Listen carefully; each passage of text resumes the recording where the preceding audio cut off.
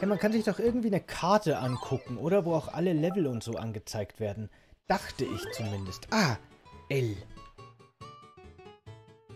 Aha, hier geht das.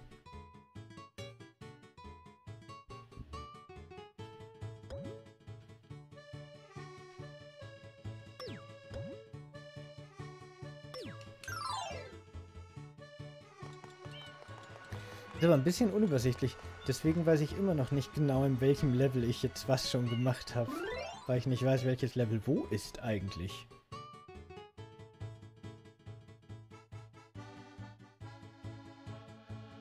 Wirst du Resident Evil 8 spielen?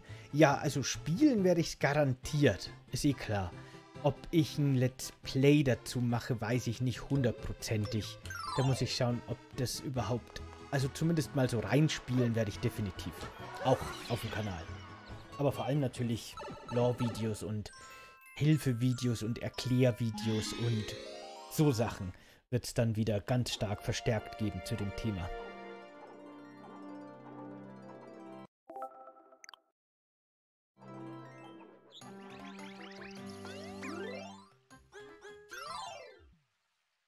Was ich bei, den, bei deinen Videos nicht ganz verstehe, du hast Let's Plays. Warum nimmst du nicht ein Let's Play als Hintergrund für deine Infovideos? Das habe ich mir auch schon öfter gedacht. Aber seitdem die meisten der Let's Plays ja quasi zu Streamaufzeichnungen geworden sind, will ich das nicht machen, weil das ganze Stream-Klimbim sonst mit dem Bild ist. Aber ansonsten ist auch noch die kleine Hürde da, dass ich halt die Videos normalerweise aufnehme, bearbeite, hochlade und lösche, weil das einfach viel zu viel Platz sonst auf der Festplatte wegnimmt über, über Zeit. Also nach ein paar Tagen sammelt sich da ganz schön was an. Deswegen habe ich die auch meistens gar nicht parat, sondern muss die dann von YouTube runterladen, was dann wieder dauert. Aber kann ich machen. Also ich meine, ab und zu mache ich das ja auch so, wenn die Let's Plays, die ich mache, zeitlich näher an den Lore-Videos liegen, mache ich das auch öfter. Bei Resident Evil 3 eben zum Beispiel habe ich das ja öfter gemacht.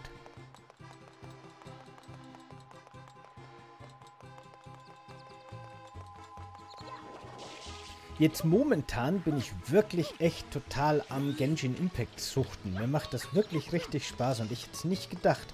Und ich finde echt, das Spiel tut sich, vielleicht, ich meine, wahrscheinlich funktioniert es erfolgstechnisch, aber ich finde mit dieser offensiven Werbung auf YouTube und überall tut sich das Spiel keinen Gefallen. Weil diese, diese offensive Werbung wirkt mittlerweile wie so ein Ne, man erwartet sowas irgendwie, finde ich, von so Rip-Off kleinen Handy-Doof-Spielen, die man irgendwie nicht so richtig ernst nimmt. Also mir geht's zumindest so. Wenn irgendwas auf YouTube ständig Werbung macht, weiß ich, naja, ist wahrscheinlich ein Scheiß. so geht's mir zumindest. Und bei dem Spiel ist es eigentlich nicht so. Das ist tatsächlich ein vollwertiges und sogar echt gutes Spiel. Aber es bewirbt sich nicht so, finde ich. Aber vielleicht bin das nur ich. Vielleicht geht das nur mir so. Wer weiß.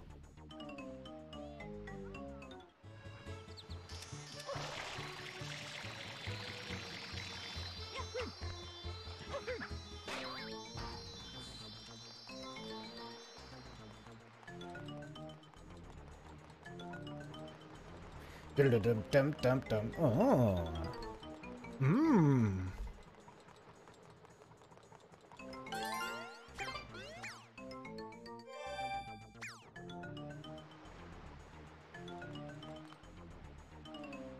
Genshin Impact hat ein tolles Kampfsystem. Das finde ich auch gut. Ich finde das nämlich nicht überladen und es macht Spaß. Aber mir gefällt am besten eben wirklich das Erkunden einfach. Das hat mich halt schon, also eben wie die, wie die offene Welt designt ist und, und wie man die so erkunden kann. Das hat mir schon bei Breath of the Wild gefallen. Also das war für mich der Hauptaspekt, warum Breath of the Wild mir so gut gefällt. Und das macht Genshin Impact eben auch sehr gut. Unter Gänsefüßchen nach. Aber macht es eben auch sehr gut. Ah, der will irgendwelche blöden Früchte, oder? Ich habe keinen Bock, dir irgendwelche blöden Früchte zu bringen. Na, welche Früchte willst du denn? Wäre so gut, wenn man manchmal einfach mit denen reden könnte. Hallo! Mir Obst bringst. Mich gelüstet es danach. Kokosnüsse. Bring mir drei Kokosnüsse. Drei Kokosnüsse. Warte mal, sind nicht hier vielleicht Kokosnüsse? Das wäre ja gut.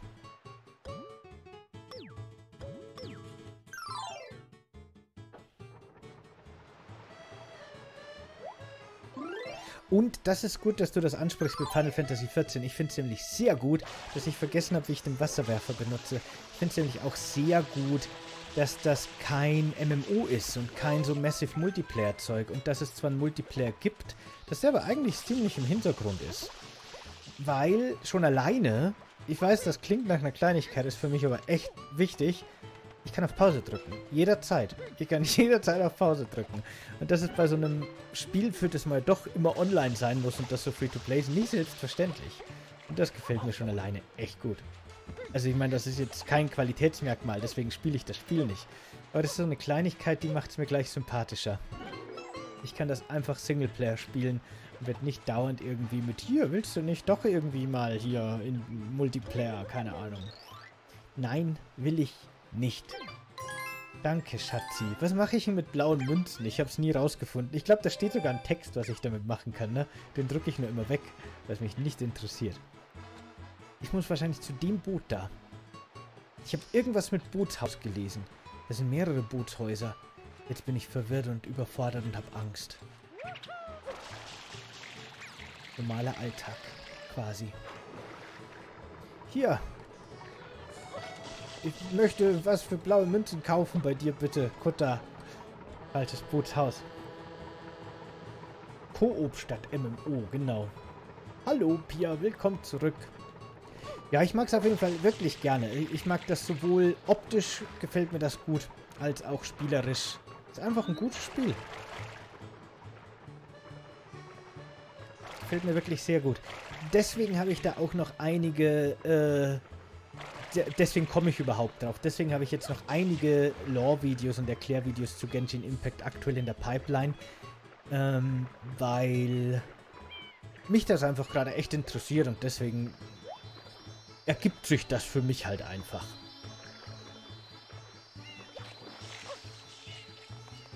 Aber spätestens, wenn dann Resident Evil 8 endlich kommt nächstes Jahr, gibt es auf jeden Fall auch wieder eine ganz große Resident Evil 8 Offensive. Und bis dahin gibt es natürlich auch immer Resident Evil und Fallout Videos. Das könnte ich mir auch ganz, ganz ehrlich nicht leisten, keine Fallout und Resident Evil Videos zu machen. Willst du zufällig eine Ananas? Ich hätte nämlich Ananas. Anscheinend will er keine, siehe, keine Ananas.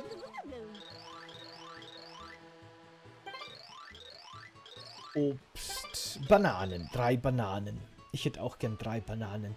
Die blauen Münzen kannst du bei den Tanukis abgeben. In dem Haus auf dem Steg. Hm.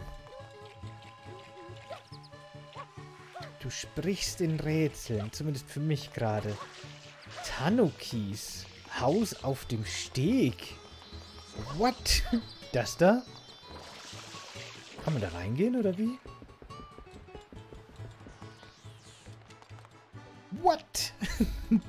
War das schon immer so? Null Erinnerungen habe ich da dran. Wirklich, das ist total crazy. Wer würde bitte ein Haus so bauen? Auf dem Steg. Das macht überhaupt keinen Sinn. Der Eingang muss hier sein, wo der Eingang ins Level ist. Nicht an der Seite.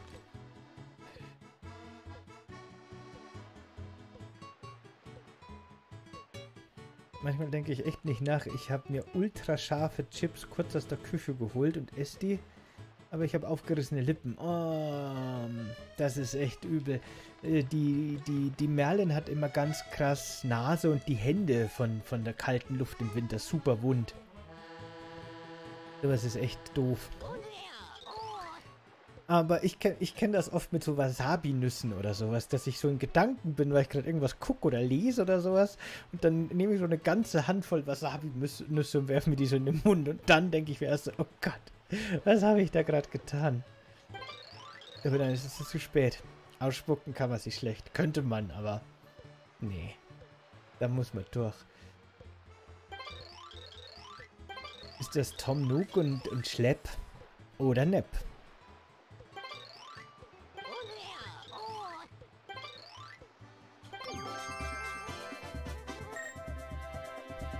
Also 10 blaue Münzen für einen Shiny. Die eigentlich anders heißen, glaube ich. Aber vielleicht auch nicht, wer weiß.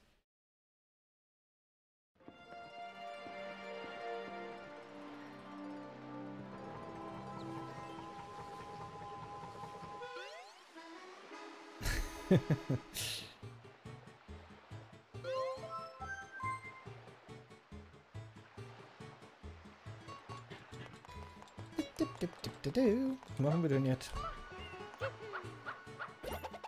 In welches Level gehen wir denn? Das da hinten ist der Vergnügungspark, oder? Ich hasse den Vergnügungspark. Machen wir den Vergnügungspark. Dann haben wir es hinter uns. Ich wollte eigentlich die Laufdüse und nicht die Sprungdüse. So kann es gehen. Ach nee, das ist der Hafen.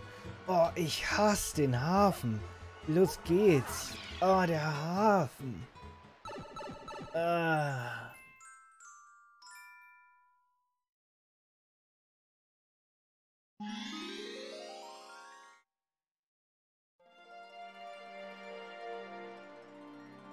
Was ist masochistisch, wenn man Schmerzen mag? Bei sich selbst. Quasi das Gegenstück zu einem Sadisten ist ein Masochist.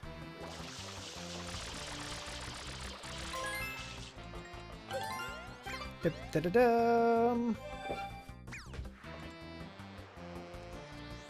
Ach so, du hast masoistisch geschrieben, deswegen. Ach so. Deswegen. Aber wir wissen ja, was gemeint war.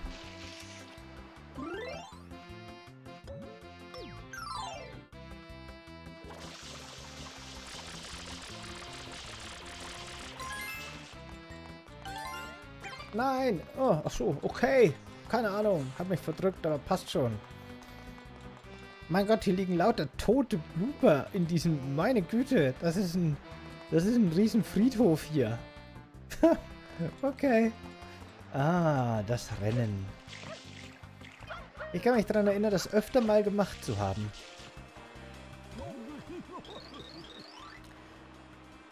Blooper Surf Guru. Viel Spaß. Naja, dann schauen wir mal. Ach so, aber das ist noch gar nicht das Rennen. Da gibt es nämlich eine extra Mission für das Rennen. Aber das ist, glaube ich, nicht das Rennen. Kann ich springen mit dem? Ja.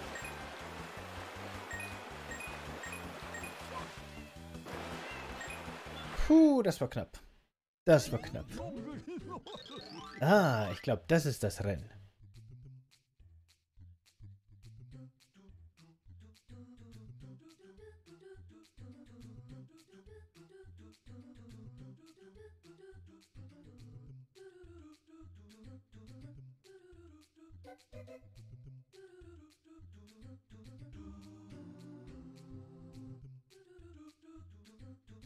Interessant, aber gruselig. Fasst das gut zusammen. So manche psychische Besonderheiten.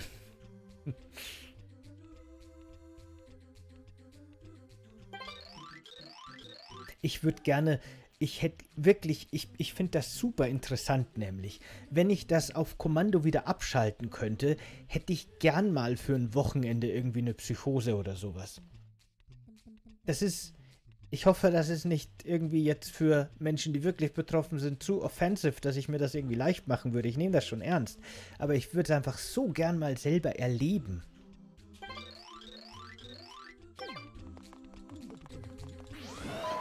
Aber wie gesagt, nur für ein Wochenende. Ne, wenn man so durch, durch elektromagnetische Strahlung diese Symptome hervorrufen könnte, kurzfristig, das würde ich sofort machen.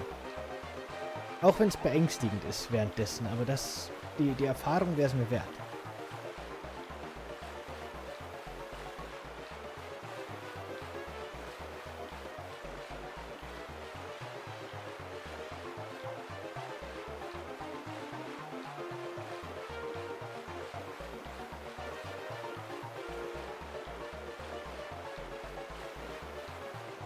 Ja, gar nicht so schlimm. Cool.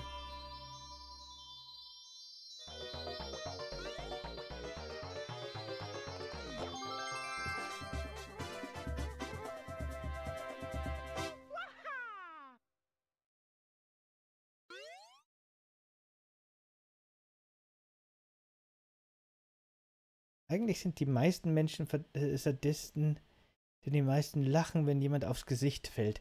Ja, Schadenfreude ist, glaube ich, echt ein ziemlich interessantes Phänomen. Das ist, ne, das ist schon sehr weird eigentlich.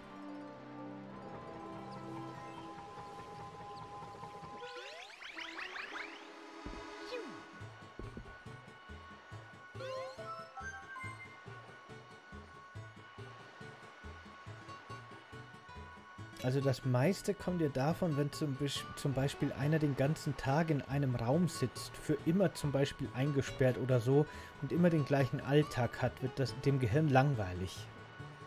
Und macht selber Abwechslung, indem es zum Beispiel äh, schizophren wird und denkt, man hat zwei Persönlichkeiten. Das finde ich auch super interessant, weil anscheinend vor allem so Geistersichtungen auch ganz oft darauf zurückgeführt werden, gerade früher, so, so 20. Anfang 21. Jahrhundert auch noch, oder nee, 20. 19. Jahrhundert eher, dass ähm, den Leuten einfach echt langweilig war. Die saßen halt dann abends irgendwie vor dem Kamin und haben vielleicht noch gelesen, wenn überhaupt, haben vielleicht noch irgendwie was getrunken und dann sieht man halt nach einer gewissen Zeit Geister, weil das Gehirn braucht irgendeine Stimulation.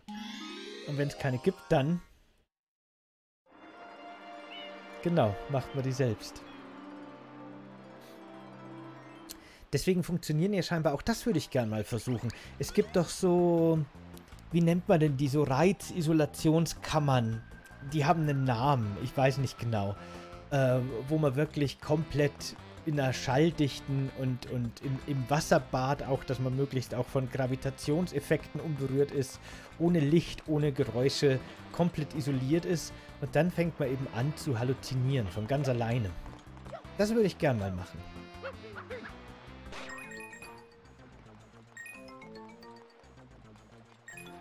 Was ist eigentlich unsere Aufgabe hier gerade? Ich springe mal in die Level und weiß gar nicht. Die eingesperrte Insignie. Die Kamerafahrt am Anfang hätte mir wahrscheinlich was verraten, ne? Der Zug ist abgefahren.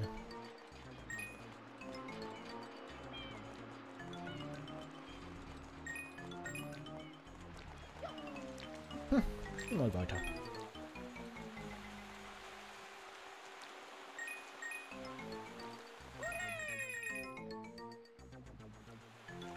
Gehört das so?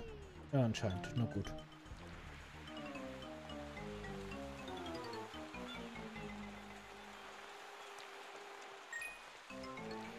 Floating Tanks, na kann sein. In Isolationstanks gab es eine lustige Simpsons-Folge. Ja, die kann ich mich auch erinnern. Das stimmt. Sowas meine ich, genau. Wie in der Simpsons-Folge mit Lisa und Homer.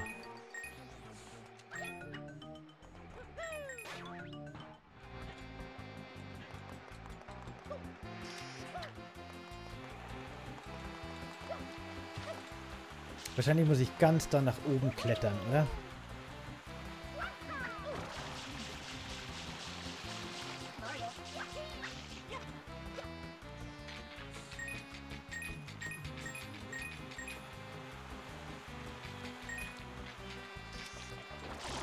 Ha!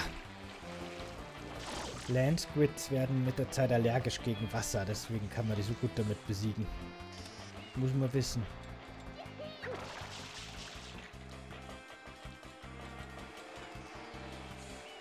Ich hasse sowas, wirklich. Ich hasse Level-Design. Warum macht man das so? Das ist einfach nur gemein. Einmal runtergeschubst und schon kann man wieder von vorn anfangen. Wer würde sowas tun? Einfach nur grausam. Da sind wir wieder bei Sadismus. So ein Level-Design ist sadistisch. Wie hoch fährt denn der Kran da? Nicht sehr hoch. Hm. Kommen wir denn dann überhaupt da hoch? Ah ja, das geht. Na dann.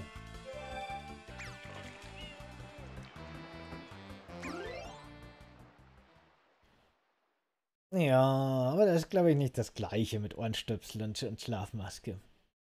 Dann kommen die Katzen und äh, schmusen sich an mich ran und so und man spürt Vibrationen und ich glaube, das, das geht nicht so leicht.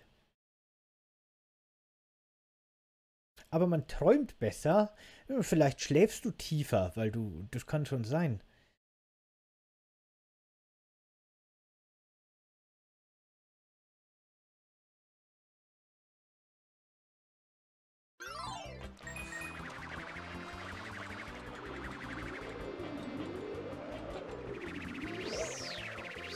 Wollt ihr mich verarschen? Wollt ihr mich verarschen? Auf einmal kommt der Wind daher und pustet mich wieder runter. Oh, ich hasse Level-Design.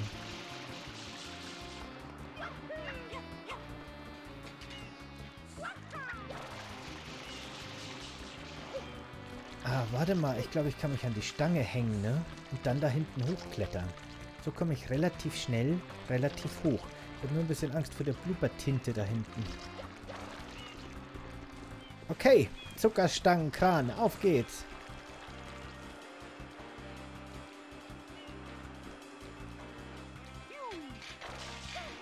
Nein, das wollte ich nicht. Oh mein Gott, was habe ich getan? Ich weiß es nicht, aber es hat funktioniert. Wie geht das jetzt, dass ich nicht abspringe? Ah, okay, gut.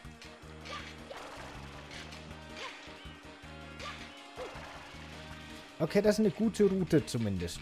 Da kommen wir schnell wieder her, wenn es sein muss.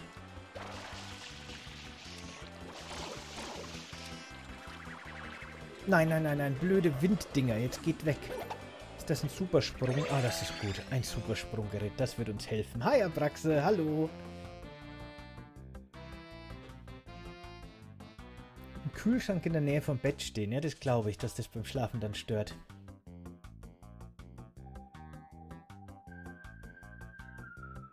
Dass man unkonzentriert ist und man dann an der rechten und an der linken Hand jeweils mit dem Daumen nach und nach jeden Finger berührt, ein paar Minuten, dass man sich besser konzentrieren kann, wenn man damit die rechte Gehirnhälfte mit der linken verknüpft. Aha. Das ist ein guter, guter Tipp. Das werde ich mal versuchen. Wenn ich, weil es gibt manchmal so Tage, da sitze ich hier, wenn ich meine Videos mache und ich drehe durch weil ich quasi ebenso abgelenkt bin und mich nicht konzentrieren kann und dauernd mein Hirn einfach so oh, nicht in der Lage ist, was zu machen. Da versuche ich das vielleicht mal. Wie geht, nochmal? Mit, mit der rechten und linken Hand jeweils mit dem Daumen nach und nach jeden Finger berühren. Also, also so quasi, ne? Mit, ne? Okay.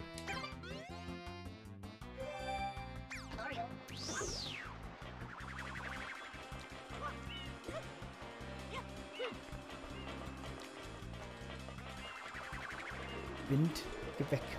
Keiner mag dich.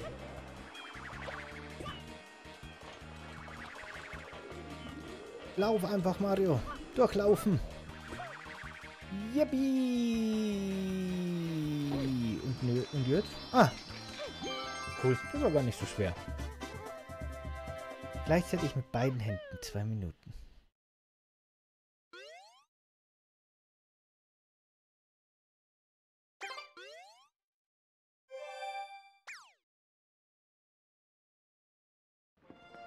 Das ist jetzt vielleicht eine Einbildung. Aber es fühlt sich irgendwie gut an im Hirn. Auf jeden Fall. Irgendwie angenehm. Ein bisschen beruhigend fast. So. Aber jetzt weiter. Ich gehe mal in den Vergnügungspark-Level wieder.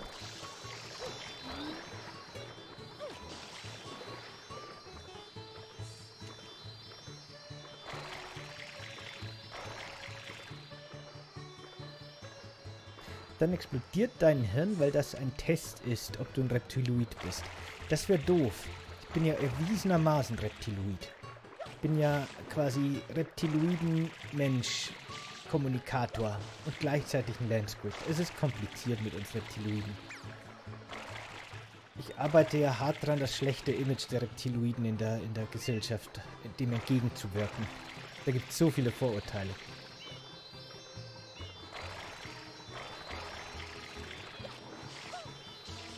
Dabei sind wir ja auch nur ganz normale Dudes aus einem benachbarten Mondkrater. Das ist kompliziert. Da muss man jetzt schon tief in so Verschwörungstheorien drinstecken. Ich, ich, ich interessiere mich ja wirklich für so Verschwörungstheorien. In so einem, in so einem bizarren... Ich weiß gar nicht, wie ich... Es ist so Tourismus, so, so, so, ne, so... Ich kann es gar nicht beschreiben. Es ist so eine Faszination des Absurden irgendwie. Aber gleichzeitig auch Gleichzeitig steckt da oft so viel Kreativität und so nette Ideen in so Verschwörungstheorien, dass ich das irgendwie einfach nett finde, mir das anzusehen. Ich finde es lustig. Und skurril, aber eben auch interessant. Sowohl wie das psychologisch bei den Menschen funktioniert, als auch dann quasi die Theorien an sich. Und eine sehr schöne Theorie, finde ich, ist nämlich, dass die ganze Erde in Wirklichkeit nicht nur irgend so eine Scheibe ist, sondern in einem Mondkrater ist. Und diese Verschwörungstheoretiker wissen auch ganz genau, in welchem Mondkrater, weil der Mond ist in Wirklichkeit nur eine Schwarz-Weiß-Reflexion von unserer Welt.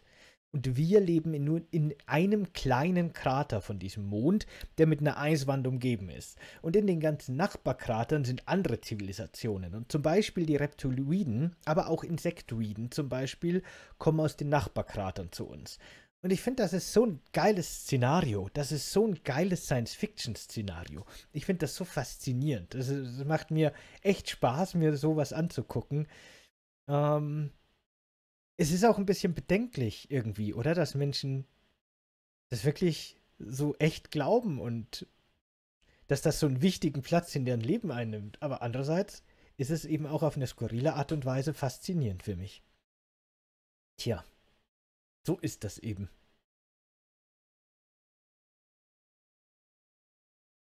Ein PMK, ein Reptiloiden-Mensch-Kontakter, genau. Ein bärtiger Reptiloid. Das FBI und der Geheimdienst sind alarmiert. Normaler Reptiloid wäre noch okay. Aber ein bärtiger, das geht zu weit.